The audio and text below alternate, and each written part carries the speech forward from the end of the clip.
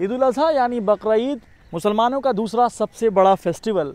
और कोरोना ने उस पर एक फुल स्टॉप तो नहीं, लेकिन एक कॉमा ज़रूर लगा दिया है। और इस वक्त हम दिल्ली के मरकज़ मतलब जमात इस्लामी हिंद की मस्जिद के पास हैं और हमारे साथ कुछ लोग हैं, जिनसे हम जानेंगे कि इस बार किस तरह की बकरीद ईद जो है ईद अज़हा किस तरह से यहाँ पे मनाया जा रहा है और किस तरह से मस्जिद में सोशल डिस्टेंसिंग का पालन हुआ है या नहीं हुआ है और बकरीद को किस तरह इन लोगों ने मनाने का सोचा है? क्योंकि कोरोना ने पूरी तरह से चाहे मस्जिद हो चाहे बाज़ार हो सब पे कहीं ना कहीं पूरी तरह से एक रोक लगा दिया था। तो बात करते हैं जानते हैं क्या नाम है आपका? मोहम्मद आरिफ नाम है मेरा। आरिफ साहब ज़रा ये बताइए कि कैसे मतलब क्या फ़र्क है इस बकरीद में? कैसा है? आ, पूरी दुनिया कोरोना के पैंडमिक में डिस्टर्ब है। और सारी जनता इसमें बहुत खौफ हरास के माहौल में जी रही है।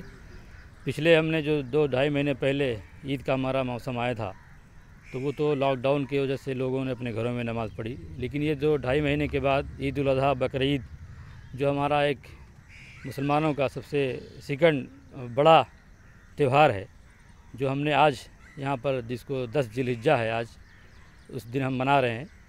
और इस बार इस लॉकडाउन के दौर में भी जो गवर्नमेंट ने जो नॉर्म्स लोगों को भेजे हैं सर्कुलेट किया है, उसका पूरा लिहाज रखते हुए इस मरकज़ की मस्जिद में सोशल डिस्टेंसिंग का पास लिहाज रखते हुए, लोगों को मास्क को पाबंद करते हुए उनकी थर्मल स्क्रीनिंग भी की हम लोगों ने और उसका पूरा सिस्टम यहाँ पर डेवलप किया और अच्छी खासी तादाद यहाँ लोकल जो ओखला की है, वो नमाज़ पढ़ने आई थी। तो पहले से जो पिछले साल जो लोग आए होंगे, उससे क्या भीड़ कम थी या बहुत सारे लोग आ गए थे? नहीं हमने इसमें एक बात भी ऐलान किया और कंडीशन रखी थी कि बिलो टेन ईयर्स नहीं आना है और सिक्सटी एवब लोगों को भी नहीं आना है। तो हमने जो भी गेट पर हमारे एंट्री पॉइंट है वहाँ पर वॉल्टियर्स के थ्रू इसको मैनेज किया कि उस एज के लोगों को हमको नहीं अंदर लेना है। तो पिछले बार के मुकाबले में तादाद तो बहरहाल कम थी और हमने उसका लिहाज भी रखा था कि यहाँ पर चीज़ें डिस्टर्ब ना हो और गवर्नमेंट ने जो भी गाइडलाइन दी हैं उसको हम फॉलो करें। ठीक है। क्या नाम है आपका? अबुल आला। बुलाला ये बताइए कि क्या इस बार जो मतलब अगर जो लोग देख रहे हैं उनके लिए कि बकरीद क्यों मनाते हैं, ईद अज़हा क्या है मुसलमानों के लिए? ईद अजी देखिए, एक यादगार है। हज़रत इब्राहिम इस्लाम और हज़रत इस्माईल की, ये दोनों इस्लाम के बड़े पैगंबर थे। और अल्लाह रबुल्ज़त के हुक्म से हज़रत इब्राहिम इस्लाम ने अपने बेटे हज़रत इस्माईल की क़ुरबानी का इरादा किया था। और अल्लाह रबुल्ज़त ने उनके इस फेल को, इनके इस अमल को उनकी इस प्रैक्टिस को बहुत पसंद किया। और फिर हज़रत इस्माईल की जगह एक दुम्बे को लाकर खड़ा लिटा दिया और फिर उसकी कुर्बानी हुई। तो ये जो वाक़ था इंसानी तारीख़ का एक बड़ा वाक़ था कि एक बाप से मुतालबा किया गया इशारता मुतालबा किया गया कि वो अपने बेटे को कुर्बान करें और बाप फ़ौर तैयार हो गया और बेटा भी इस बात के लिए तैयार हो गया। तो अल्लाह रबुल्ज़त ने इसको मतलब एक यादगार जो लोग देख रहे हैं उनके लिए समझाने के कहें तो अल्लाह एक चेक कर रहा था कि क्या आप अपनी प्यारी चीज़ को अल्लाह के राह में कुर्बान कर सकते हैं कि नहीं? जी। तो हज़रत इब्राहिम जो प्रॉफिट इस्लाम में प्रॉफिट कहा जाता है उन्होंने अपने बेटे को इस्माइल इस्लाम को कहा कि ठीक है मैं इनको कुर्बान कर दूँगा अल्लाह के राह में। लेकिन उस वक्त वहाँ पर एक जानवर को रख दिया गया और वो कुर्बान हुआ।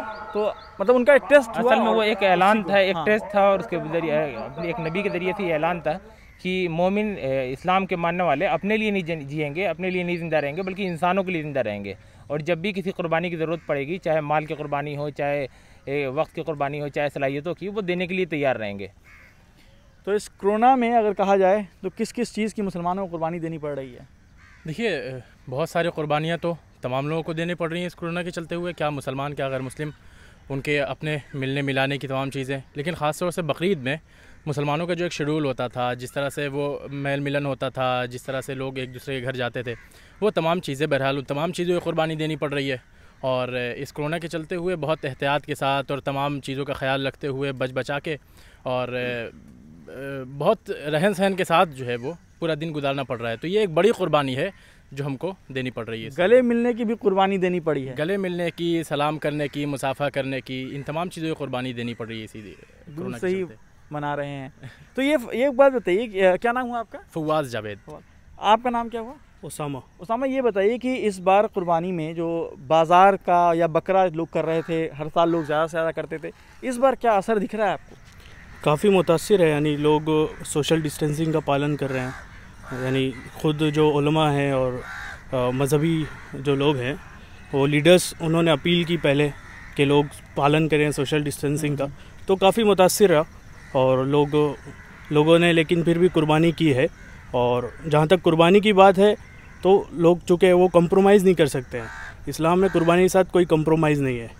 तो इस वजह से, जो रूल्स हैं, उसको फॉलो करते हुए, अल्हम्दुलिल्लाह कुर्बानी हुई है। तो कुर्बानी उन लोगों के ऊपर फ़र्ज़ कह लें, उन लोगों के ऊपर जायज़ है, जो साहिब निसाब है मतलब जिनकी फाइनेंशियल स्टेटस अच्छा। उस लायक है जो कर सकते हैं कुर्बानी जिनके नहीं है वो नहीं करेंगे और जिन जो करते हैं उसमें कुर्बानी में एक उनका तीन हिस्से में उसको बांटा जाता है जिसमें आप एक गरीब का हिस्सा होता है आपके रिश्तेदार और पड़ोसियों का हिस्सा होता है तीसरा हिस्सा आपका होता है। मतलब इसमें गरीब को भी देना है। बिल्कुल बिल्कुल।